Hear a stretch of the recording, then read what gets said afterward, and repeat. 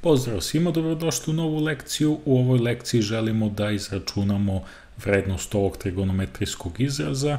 Imamo da sabiramo neke sinuse i kosinuse od nekih uglova, imamo razlomačku crtu, želimo da rešimo taj zadatak. Pa s obzirom da imamo razlomačku crtu, najbolje ćemo rešiti ovaj zadatak, najbolje ćemo dovesti do skraćivanja gore u nečega što se nalazi u projocu i dole ovoga što se nalazi u imeniocu, tako što ćemo umesto tih znakova plus i minus da namestimo da nam se pojavljuje znak puta.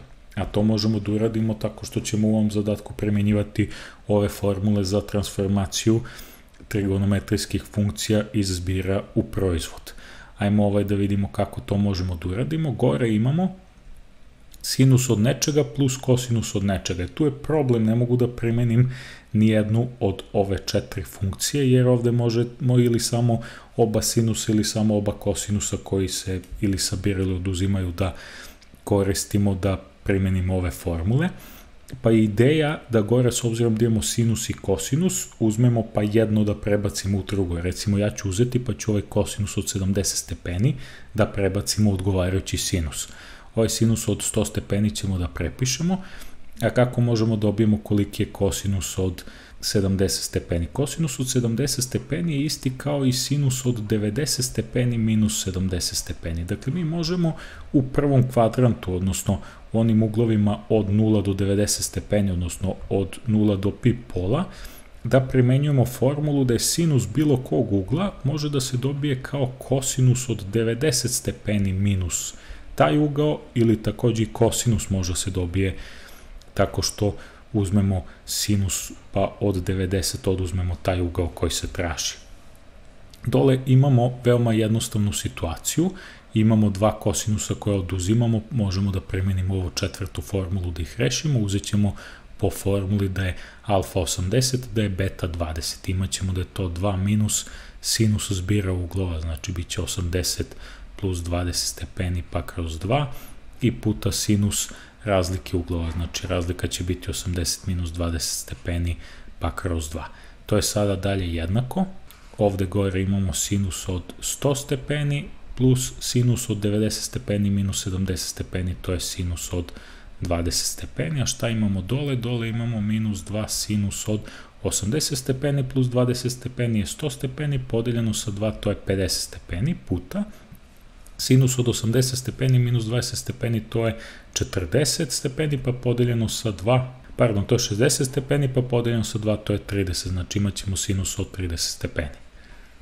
Sad ovde gore u brojocu imamo jednostavnu situaciju, možemo da primenimo formulu za zbir ova dva sinusa, to je ova prva formula, nju ćemo primenjivati, alfa će nam biti 100 stepeni, beta će nam biti 20, znači to će biti po formuli jednako 2 sinus 20 od zbira, znači 100 stepeni plus 20 stepeni kroz 2, puta kosinus od njihove razlike 100 stepeni minus 20 stepeni kroz 2, a dole imamo ovo minus 2 puta sinus od 50 stepeni.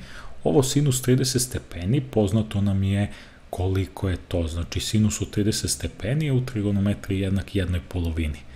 I ovde dobijamo lepu situaciju da ja mogu da skratim ovu dvojku i ovu dvojku dole, jer ova dvojka je kao minus 2 kroz 1, a ovde imamo jednu polovinu, pa kad imate razlomke 2 kroz 1, jednu polovinu, mogu da se skrate dvojka i dvojka, ali ostaće minus. Znači, dole imamo minus sinus od 50, a gore imamo 2 sinusa od 100 plus 20, to je 120, kroz 2 to je 60, pa puta kosinus od 50 100 minus 20 to je 80, pa sa 2 to je 40. To je dalje jednako. Sad opet možemo ovde, ajde pisat ću i dole ovaj minus, ne volim baš da pišem dole ovako imenjacu minus, nego volim da ga izbacim, ali nema veze, neka bude gore puta. Znamo da je sinus ugla od 60 stepeni po tablici jednak korenu iz 3 sa 2 puta, a ovde imamo kosinus 40 koji smo dobili, a dole imamo sinus 50. Pa ajmo taj kosinus da prebacimo da nam bude sinus. Znači prebacit ćemo ga da će to biti sinus od 90 stepeni minus 40 stepeni. Ajmo nastavit ću zadatak ovde.